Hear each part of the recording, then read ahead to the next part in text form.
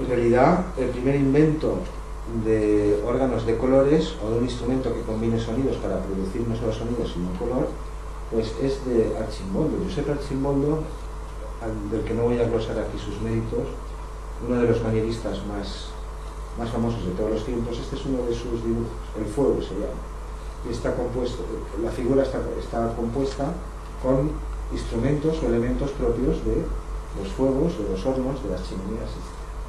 Pues ya se cita a finales del siglo XVI, Gregorio Comanini dice que Arcimboldo había ideado un invento, aunque no se aclara cuál, eh, que permitía eso, permitía, basándose en los contrastes y eh, no, en los matices de sombras, y, sino directamente en oscuros y claros, eh, producir música y traducirla a un cierto código de color. Ahora diré algo más sobre estos temas, porque por ahí se dice ya habido intentos que existe una correspondencia, como, como vemos siete colores en el arco iris, mayormente siete bandas, y también percibimos los humanos mayormente siete grados tonales dentro de una octava, pues se suele decir que hay una correspondencia de colores y sonidos, pero esto nosotros sabemos no es real, no es verdad, y ahora por el camino lo iremos explorando. En cualquier caso, en la charla del año que viene, donde sí trataremos el tema del color estos órganos con bastante detalle, pues ahí abundaremos de nuevo tema. Bien, pues él es el primero. Él es Scriabin, ahora se entenderá por qué. Él también es Scriabin, Alexander. Y aquellos, aquel es su teclado coloreado. El Scriabin es famoso también por ser sinestésico, que fue otra cosa muy romántica y que también hemos hablado aquí en, años previos. Pero tiene un, poema sinfónico, una sinfonía, se llama la sinfonía sinestésica, se la suele llamar, que es Prometeo, el poema del fuego en donde eh, exigió o compuso, incorporó al elemento sonoro y orquestal también juegos de luces. Ahora veremos algo más. El, primer aparatejo, teclado, que incorpora este tipo de sistemas es el de Luis Bertrand Castel, era, físico, eh, jesuita, también eh, tenía algún dato más de por aquí, pero ahora no los encontraré. Pero en fin, no tiene más más importancia. Eh, Luis Bertrand Castel, su sistema, eh, realmente había una especie de, láminas de color, de cristal, tapadas, de forma que cuando tú apretabas cierta tecla, se descorría una, una partecilla, se levantaba y la luz que pasaba por, ese cristal que rodeaba eh, por no enredar, pues directo, como era muy poquito lo de este señor, pues he incluido, he capturado la wiki, lo he la pantalla y lo he, incluido aquí. Tenemos el año 1724, Claricendo Popular, era editor también, eh, por ahí estará igual. Era físico, era músico y también jesuita, no recuerdo alguna profesión más tenía.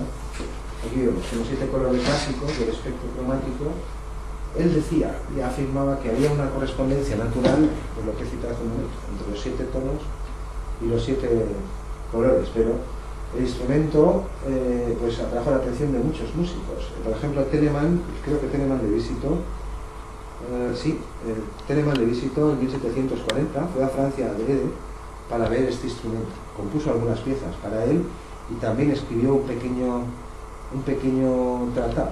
Lo que venía a decir, lo que existía Castel, pues es en esta presunta correspondencia. Decía que el órgano, perdón, que el teclado claro, en este caso emitía clavicémbalo ocular, emitía los colores apropiados, decía, como afirmando una correspondencia entre sonidos y eh, pues aquí se ve los cuatro datos, no se trata tampoco de insistir más. Se hicieron exhibiciones en el 30, en el 34, pero parece que nunca llegó a ser completado. Sin embargo, hubo una versión posterior, ese tengo aquí, sí, de o sea, este era 1700, en el 34 todavía se hacían exhibiciones, aunque ya llevaba 10 años inventado, y casi 10 años después, Johann Gottlob Kruger pues lo mejoró, él hizo su propia, este estaba en la Universidad de Hall, este es su grabado, es el mismo sistema. Este incluía ya bastantes más láminas de cristal, un total de 60 pequeñas, lo mismo, estaban bloqueadas las aberturas y en función de las teclas que tú tocabas y, los mecanismos, pues se abrían unas, se abrían otras y el color se a través de cristales coloreados. Pues estos son dos clavicémbolos oculares, mientras que a partir de ahora lo que vamos a empezar a ver ya son, ya dejan de ser eh, clavicémbolos exactamente y se combinan mayormente con órganos. Un poco después, bueno, un poco después, no, bastante, pues en el 43, pues en 1816 o así, eh, Sir David Brewster eh, propuso que el caleidoscopio, que es este el artilugio este que que se mezclaban, producía una especie de música visual y se hizo muy popular en estos tiempos, desde 1800 se hizo muy popular. Digo, aquí ya eh, hemos avanzado, este es de final del 19, pero este es anterior, que es a donde íbamos al divisor primero, y ya estamos empezando a tratar no con claves, sino con otro tipo de diseños, de hacer directamente órganos. Aquella es el aparejamiento de colores y sonidos de Newton, el que había propuesto Newton también en estos tiempos, 1700 y pico. Él en cambio es Remington, eh, pero antes de Remington debería comentar este porque va antes en el tiempo. El diseño de Bishop es de 1877 es un, fue un inventor eh, americano, obtuvo la patente sobre el primer diseño que combinaba estas dos cosas. Eh, perdón. Y lo que, lo que, la ventaja que, o sea, una, la principal novedad y ventaja fue que diseñó una especie de, mecanismos que se, se, acoplaban a los tubos de estos órganos, o sea, que los podías poner y quitar eh, eh, construyó tres de estos, de estos aparatos y los tres se perdieron en, incendios. Esto fue pues una mala pata. Incluso uno que estaba en casa de Pete Barnum. Barnum era un personaje, como alguno que enseñaré en algún momento, como Marcel y otros, eh, que era político, filántropo, rico, coleccionaba aparatos extraños y OAX, lo que sea, OAX son como cosas así, fenómenos falsos, digamos, como ovnis y este tipo de... Eh, había muchos espectáculos de este tipo y en Estados Unidos también. Después, a continuación, el siguiente en el tiempo es el de Remington, aquí vemos en 1893. De este es el que se dice erróneamente que intervino en el estreno del poema del fuego de, Prometeo, en, esta sinfonía sinestésica de Schiavelli no es verdad, no fue el órgano de Remington, fue un invento similar o parecido de, un ingeniero de luces eh, norteamericano que trabajaba en Nueva York y se llamaba Cromola, pero ese no lo tengo, no lo puedo enseñar. Y se, suele leer que en el estreno de Prometeo se utilizó este aparato, pero no es verdad, era otro similar y yo quería aclarar. En el caso de, de la, no, no recuerdo exactamente, en el caso del estreno de Prometeo, concretamente lo que pedía Scriabin eran 12, 12 luces de color operadas por 15 teclas, las tres primeras teclas estaban repetidas, pero realmente mm, tampoco buscó una correspondencia natural como la podía buscar Newton o Castell u otros, sino que simplemente siguió según sus emociones Scriabin vivo. Lo que sí compuso fue una partitura especial para esta obra, mm, para para que se combinasen los colores según sus deseos, pero atendiendo a sus propias impresiones eh, estéticas. Eh, el siguiente, después de, del órgano de Remington, hay unos experimentos, de los cuales tampoco tengo imágenes, a cargo de, de, pintores, concretamente dos italianos, Arnaldo Gina y Bruno Corra, que habían estado haciendo experimentos eh, en 1909 y los publicaron en 1916. Es una lástima, una pena, y no, no, he podido encontrar nada de ellos, pero se sabe que también colorearon, pintaron, porque eran pintores, eh, Armando Gine y Bruno Corra, pintaron nueve films abstractos, nueve películas de las primeras que había, celuloides, no sé exactamente en qué términos, si los si colorearon, no sé qué ocurre, pero están perdidos. Se sabe que trabajaron en el 9, pero están.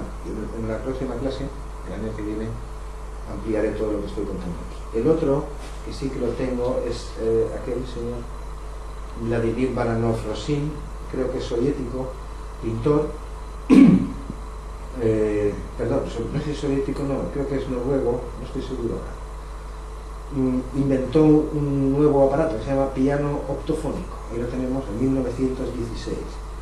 Hizo una exhibición en solitario del aparatejo, era, era un buen pintor, ahí lo vemos, un autorretrato. Estos son dos, dos, dos variantes. Ahí vemos cómo, cómo proyecta, hace las dos cosas, suena y también proyecta. Este es un diseño más reducido y aquí dentro de la caja se ven algunos mecanismos. Estos dos de aquí son posteriores, pero en algún sitio tenían que ponerlos y tampoco los vamos a tratar en la sesión de los 900 metros. Son diseños similares. Consolas aquí se puede apreciar como estos no son teclas, o no son teclas convencionales como las que tenemos. Aquí sí que se ven tres negras, otros mandos, todo tipo de artefactos. Combinan, combinan las características a veces de los teclados convencionales con otros, tipos. Hay otros más curiosos. Hay uno, este se llamaba el, el lumígrafo, que hoy no los voy, sí, están al final, lo diré después.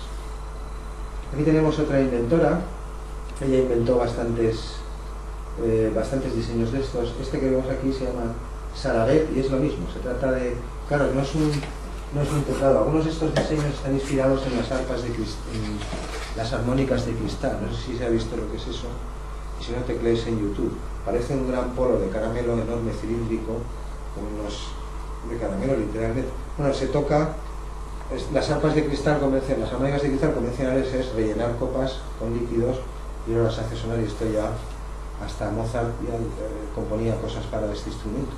Pero después evolucionaron y, se, y hoy no las voy a mostrar aquí. Se, se elaboró una especie de cilindro como este que va girando y tú pones los dedos ahí y eso produce sonido. Es una mixtura de ambas cosas. El segundo que vemos ahí, aquel es el segundo que desarrolló. Esto es otro tipo de invento es un fonógrafo de música visual. Es algo así como un picú, pero se ve que es una bola del mundo, está sostenida por una especie de atlas femenino. Ella, eh, no tengo los datos de vida aquí en mis chuletas, pero después cuando con las sesiones los puedo añadir, pero no, tampoco es muy interesante. Bien, pues de, de Mani, no sé si quería comentar algo más. Bueno, eh, ya he dicho que la inventora patentó nueve inventos de este tipo relacionados con este tipo de, teclados mm, de colores, incluyendo el reostato. Y esta es la última que vamos a ver de la serie y los que quedan, pues ya digo, los veremos el año que Este es el que he citado antes, que es muy curioso. Eh, Fischinger, el de arriba, perdón. Eh, el Oscar Fischinger, porque no genera música, es decir, es silencioso igual que otro que se llama, eh, igual que el que inventó Charles Docum, un, proyector también que era silencioso. Este, en cambio, el que vemos abajo, se llama Clavilux y lo desarrolló en, los años 20, en la década de los años 20, Thomas Wilfred.